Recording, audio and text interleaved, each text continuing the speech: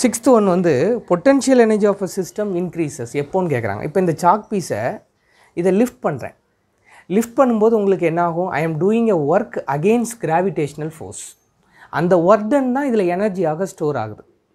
Right அப்போ gravitational force என்ன force conservative force sixth ஒன்னுக்கு ஏ செவன்த் ஒன் பாருங்கள் மினிமம் வெலாசிட்டி கேட்டிருக்கான். ஒரு வெர்டிக்கல் சர்க்கிளில் அப்போ எனக்கு ரெண்டு பொசிஷன்லேயும் வெலாசிட்டி தெரியும். இங்கே வந்து ரூட் ஆஃப் ஃபைவ் ஜிஆர் இங்கே ரூட் ஜிஆர் நல்லா தெரிஞ்சுக்காங்க. மினிமம் வெலாசிட்டினோன்னு இதான கம்மின்னு இதை எடுத்துகிறாங்க அவங்க கொஸ்டின் என்ன? இட் மஸ்ட் என்டர் அப்போ எப்போ உள்ளே வர்றதுக்காக கேட்குறான் அப்போ இங்கே பாருங்கள் ரூட் ஃபைவ் ஜிஆர் வந்தால் இதுதான் மினிமம் வெலாசிட்டி அப்போ தான் அது மேலே அது ரீச் ரீச் பண்ண முடியும். அதனால் மினிமம்னு இதை எடுக்கக்கூடாது. இதை தான் எடுக்கணும் ஆன்சர் ரூட் ஃபைவ் ஜிஆர் ஆப்ஷனை பொறுத்தவரையில் ஆப்ஷன் வந்து சி ஓகேயா அடுத்தது எயித்து ஒன் பாருங்கள் eighth one eighth one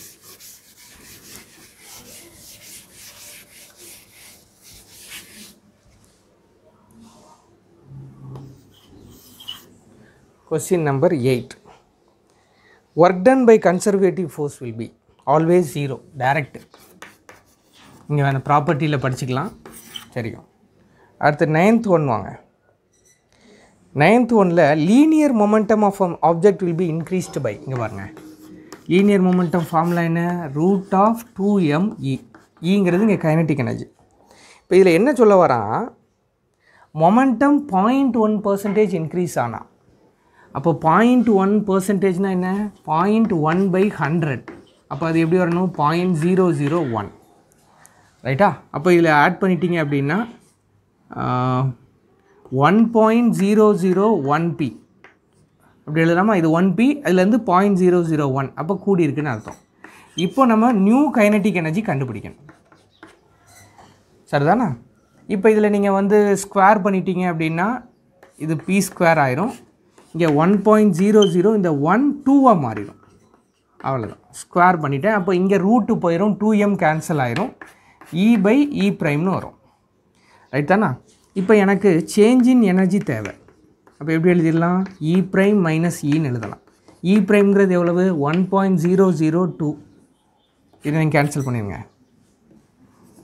இது ஒன் அப்போ டிஃப்ரென்ஸ் பார்த்தீங்கன்னா பாயிண்ட் ஜீரோ ஜீரோ டூ இதை பர்சன்டேஜில் சொன்னீங்கன்னா point two percentage that's all question number ten பாருங்கள் இல்லை எஃப்ங்கிறது என்ன? Negative potential gradient.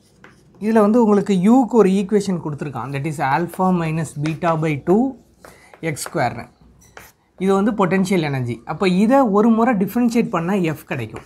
அப்போ இங்கே பார்த்தீங்கன்னா உங்களுக்கு மைனஸ் பீட்டா எக்ஸ்னு கிடைக்கும். இது டிஃப்ரென்ஷியேட் ஆனால் இது கான்ஸ்டன்ட் ஜீரோ ஆயிரும்.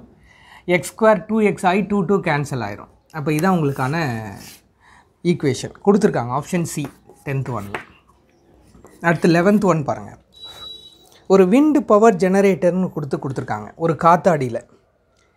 அதில் வந்து பவர் கேட்டிருக்காங்க. அப்போ பவரை வந்து ஒர்க் டன் அல்லது ஒர்க் டன் அல்லது எனர்ஜி பை டைம் டேக்கன்னு சொல்லிடலாம். சரியாம்மா? அப்போ கைனட்டிக் எனர்ஜி ஃபார்ம்லாம் நியாயமாக எப்படி எழுதுவோம்? ஆஃப் எம் வி ஸ்கொயர்னு எழுதுவோம்.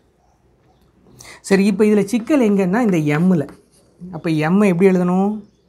வால்யூம் இன்ட்டு டென்சிட்டி டென்சிட்டி வால்யூமை ஏரியா இன்ட்டு லென்த்துன்னு எடுத்துக்கிறேன். இவ்வளவும் மாசை தான் நான் ரெப்ரசன்ட் பண்ணுறேன் இன்ட்டு வி ஸ்கொயர் அப்போ இதுதான் கைனட்டிக் எனர்ஜி ரைட்டா பெர் யூனிட் டைம் இப்படி வச்சுக்காங்களேன். அப்போ பவரை இங்கே மாற்றி எழுதிட்டேன். சரி இப்போ இதில் பாருங்கள் நல்லா கவனிங்க. இது டிஸ்டன்ஸு அப்போ இந்த டிஸ்டன்ஸ் எப்படி எழுதிடலாம்? வெலாசிட்டி இன்ட்டு டைம்னு எழுதலாம். இந்த டைமையும் டைமையும் அடிச்சிருங்க. அப்போ ஃபைனலாக பவர் எப்படி மாறிடுது? ஆஃப் ரோ ஏ வி க்யூப்னு மாறிடுது. அப்போ from this power will be proportional to V cube முடிச்சிட்டேன். ஆன்சர் வந்து உங்களுக்கு சி சி ஆப்ஷன் ரைட்டா அடுத்தது வரேன். லெவன்த் ஒன் முடிச்சாச்சு. டுவெல்த் ஒன் ரெண்டு ஈக்குவல் மாசஸ் நம்ம எலாஸ்டிக் கொலிஷனில் நடத்தியிருக்கோம் நீங்கள் வேணால் டிஸ்கிரிப்ஷனில் போய் அந்த தியரி பாருங்கள் ரெண்டு ஈக்குவல் மாஸ் மோதும் போது என்ன பண்ணும்? அது தன்னுடைய வெலாசிட்டியை இடம் மாற்றிக்கும் they simply exchange their velocity ஒரு கேரம் போர்டு வச்சு நான் அதில் உங்களுக்கு கிளாஸ் எடுத்திருப்பேன். அதை பார்க்கலாம். அப்போ இங்கே உங்களுக்கு வெலாசிட்டி மாறினா முதல் இதில் மைனஸ் நைன் ரெண்டாவது இதில் ஃபைவ் வரணும். அப்போ டுவெல்லுக்கு வந்து சி அதான் ஆன்சராக இருக்க முடியும். டைரக்ட் லாஜிக் தேர்ட்டீன்த் ஒன் பாருங்கள் தேர்ட்டீன்த் ஒன்று இதுவும் ஒரு கிராஃபை வச்சு வரான் F equal to K X வச்சுக்கா? வச்சுக்கிட்டு பொட்டன்ஷியல் எனர்ஜியை படிங்க. இப்போ தான் சொன்னேன். நெகட்டிவ் பொட்டன்ஷியல் கிரேடியன்னு அப்போ மேபி ஆஃப் கே எக்ஸ் ஸ்கொயர்னு வரலாம். இதை நீங்கள் டிஃப்ரென்ஷியேட் பண்ணிங்கன்னா. அப்போ உங்களுக்கு தெரியும் கே எக்ஸ் ஸ்கொயருங்கிறது வந்து எதனுடைய ஈக்குவேஷன் ஒரு பேரபாலாக்கான ஈக்குவேஷன் இது நீங்கள் எங்கே படிச்சிருக்கீங்கன்னா path of the projectile is a parabola second lesson அதில் படிச்சிருக்கீங்க. அப்போ K X square will be a equation of parabola அப்போது கண்டிப்பாக இந்த பொட்டன்ஷியல் எனர்ஜி கிராஃப் வந்து பேரபுலா தான். அது பாசிட்டிவாக நெகட்டிவாக ரெண்டு கிராஃப் இருக்குது ஏயா சியான்னு வரும்போது இதில் நெகட்டிவ் வர்றதுனால அது நெகட்டிவ் பேரபிளா அப்போ ஆப்ஷன் சி எடுக்கணும். சி தான் கரெக்ட் தேர்ட்டீன்த் ஒனுக்கு சரியா? அடுத்து ஃபோர்டீன்த் ஒன் பாருங்கள் அதுவும் கிட்டத்தட்ட டிட்டோவா இதே மாடலில் கேட்டிருக்காங்க. சேம் மாடல் அப்போ அதை உங்களுக்கு நான் சொல்லித் தரணும் அப்படின்னா வரேன் டிட்டோவா ஃபோர்ட் இப்போ கொஸ்டின் நம்பர் ஃபோர்டீன் பாருங்கள் எஃப் கொடுத்துருக்காங்க. F of X that is minus KX plus A X கியூப்னு கொடுத்துருக்காங்க. அப்போ எஃப்ங்கிறது என்ன? சேஞ்ச் இன் பொட்டென்ஷியல் எனர்ஜி அல்லது நெகட்டிவ் பொட்டென்ஷியல் கிரேடியன்ட் இப்படி சொல்லி கொடுத்துருக்கோம். அப்போ இதில் எஃப்ஐ வந்து இதில் நீங்கள் இதுலேருந்து பொட்டென்ஷியல் எனர்ஜி வேணும்னா இப்போ எப்படி வரணும்? இன்டெகிரேட் பண்ணி வரணும். இது எஃப் இன்ட்டு டிஎக்ஸ்னு ஆயிருக்கும். அப்போ அதை இன்டெகிரேட் பண்ணி இந்த பொட்டென்ஷியல் எனர்ஜி வரணும். அப்போ இன்டகிரேட் பண்ணும்போது உங்களுக்கு ஃபார்முலா பார்த்தீங்கன்னா K X square by two minus A X power of four by ஃபோர்னு வரும். இதுதான் பொட்டன்ஷியல் எனர்ஜி ஒன்றும் இல்லை இந்த எஃப்க்கான ஈக்குவேஷனை இதில் போட்டு இன்டகிரேட் பண்ணுறேன் இன்டகிரேட் பண்ணும்போது K X square by two minus A X power four by four இப்படி வரும். இதுதான் பொட்டன்ஷியல் எனர்ஜி இப்போ இதில் பார்த்தீங்க அப்படின்னா எக்ஸு வந்து ஜீரோ ஆகும்போது பொட்டன்ஷியல் எனர்ஜி ஜீரோ கரெக்டானா அதே மாதிரி இன்னொரு கேஸில் இன்னொரு கேஸில் பார்த்தீங்கன்னா X equal to root of two K by A வரும்போதும் உங்களுக்கு பொட்டென்ஷியல் எனர்ஜி ஜீரோ ஆகும். அப்போ இதை கிராஃபில் எந்த கிராஃப் இண்டிகேட் பண்ணுதுன்னு முதல்ல பார்ப்போம் அப்போ அதில் பார்த்தீங்க அப்படின்னா ரெண்டு கிராஃபில் எக்ஸு ஜீரோ வரும்போது எனர்ஜி ஜீரோ வருது. அது எந்த கிராஃப் அப்படின்னா நான் வரைஞ்சி காட்டுறேன். இந்த கிராஃப் ஒன்று இன்னொன்று இந்த கிராஃப் இப்படி போகுது. அப்போ இது கிராஃப் நம்பர் டி இது கிராஃப் நம்பர் ஏ இதில் பார்த்தீங்கன்னா எக்ஸ் ஜீரோ ஆகும்போது எனர்ஜியும் ஜீரோ ஆகுது. ரெண்டு தடவை. டூ டைம்ஸ் அதான் ரொம்ப முக்கியம். எக்ஸ் ஜீரோ ஆகும்போது எனர்ஜி ஜீரோ ஆகுது. இது எக்ஸு அப்போது இந்த ரெண்டில் அப்போ எதை சூஸ் பண்ணணும் அப்படின்னு பார்த்தீங்கன்னா ஃபர்தராக நீங்கள் அந்த கொஸ்டினை நீங்கள் எக்ஸிக்யூட் பண்ணும்போது இப்போ இந்த value எக்ஸினுடைய value if it is greater than root of two K by A what happen energy becomes negative அப்போ நெகட்டிவ் வரக்கூடிய கிராஃப் இது தான் ஸோ இதை எடுங்க. ஆப்ஷன் டி தான் இதுக்கு சரி. இந்த ஈக்குவேஷனை இன்டகிரேட் பண்ணி எனர்ஜி கண்டுபிடிங்க. இப்படி வரும். இதில் நமக்கு என்ன தெரிய வருது? எக்ஸு ஜீரோ போடும்போது எனர்ஜி ஜீரோ ஆகுது. இதில் சப்ஸ்டியூட் பண்ணி பாருங்கள் அதே மாதிரி திரும்ப இதில் எனர்ஜி ஜீரோன்னு போட்டு இதை சால்வ் பண்ணுங்கள் எக்ஸுக்கு ஒரு வேல்யூ தெரியும். Root of two k by a அப்போ இந்த வேல்யூவை நீங்கள் இதில் சப்ஸ்டியூட் பண்ணாலும் எனர்ஜி ஜீரோ ஆகும். அப்போ இந்த ரெண்டு ரெண்டு வேல்யூக்கு உங்களுக்கு ஜீரோ வருதுன்னா ரெண்டு வேல்யூக்கு ஜீரோ வர்றது அந்த கிராஃபில் ரெண்டு இடத்துல இருக்குது இப்படி. சரி ஏன் இதை ஆன்சர்னு எடுக்கிறேன்? ஒருவேளை எக்ஸினுடைய வேல்யூ இதை விட கூடனா என்ன ஆகும் இங்கே ஃபார்முலாவில் நெகட்டிவ் வர்றதுனால நெகட்டிவ் வரும். அப்போ the graph will be negative அப்போ நெகட்டிவில் இருக்கக்கூடிய ஒரே கிராஃப் இது தான். எக்ஸு கூடும்போது. ஸோ இதை நான் சூஸ் பண்ணுறேன் ஓகே தானே?